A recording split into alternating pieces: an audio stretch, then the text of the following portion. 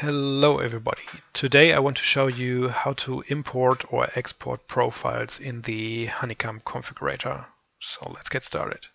If you want to import a profile, you actually need a profile. So to get more profiles, click on Actions, Download Profiles. This will open up your browser. And then you can take a look into our forum in our download section to find a certain profile. So we will go, for example, to the Alpha Flight Controls, and then we can download a profile. Lots of profiles here: Captain Seven, uh, Captain Sim, Captain Sim 767, PMDG. What we wanted to take is Let's take the Dash 8. Click on it, hit the download button, save it. Done. Then we want to import it. Go to then we go to Action, open Settings, Import Profiles. Then we have the option to select a file. We will select the Dash 8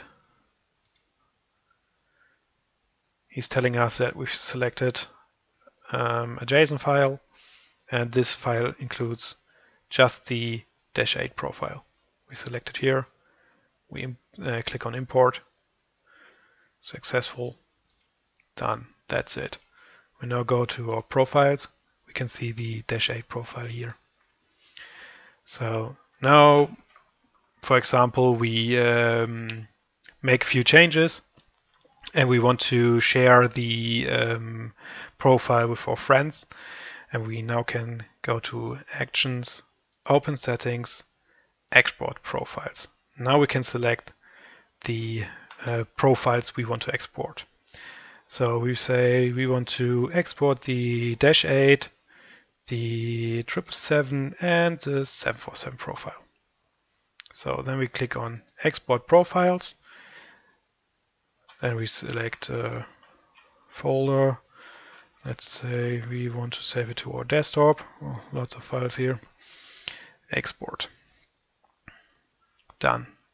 It opens up also the um, Explorer. Close it here for now. So we export it. So now I want to show you how this file looks when you import it because we selected a few uh, profiles. So we click on import profiles again, select file, and then where it is export, yeah. Open, and then we see this is the file we selected, and this file contains a lot of profiles.